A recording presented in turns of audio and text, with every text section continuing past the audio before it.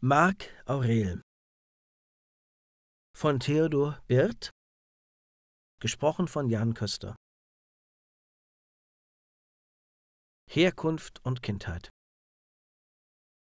Auf den Friedenskaiser Hadrian, der im Jahre 138 starb, folgten unter seinen beiden Adoptiverben Antoninus Pius und Marc Aurel 40 weitere Jahre der Gerechtigkeit und zunächst 20 weitere Friedensjahre.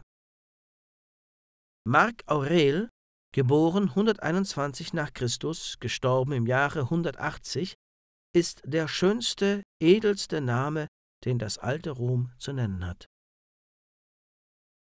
Alles, was gut war an der Antike, sammelte sich gleichsam in diesem Herzen, ein reines Menschentum, voll männlicher Kraft und voll Geduld, Ausdauer, Umsicht und aufrichtigster Güte. Ein Vater der Menschheit. Marc Aurel war Kaiser der Welt, aber er ist auch ein Lehrmeister der Frömmigkeit, ein Tröster der Einsamen geworden, und noch im zweiten Jahrtausend nach seinem Tode haben sich viele Herzen an ihm erbaut und ausgerichtet, Herzen, die Standkraft und Frieden suchen in den Wirren und Enttäuschungen des Lebens.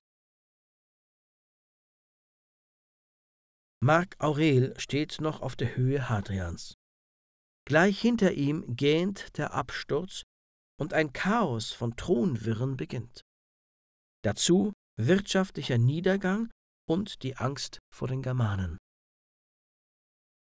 Dieser Mensch mit der reinen Seele war ein Kämpfer. Er hat Rom noch einmal vor den Germanen gerettet.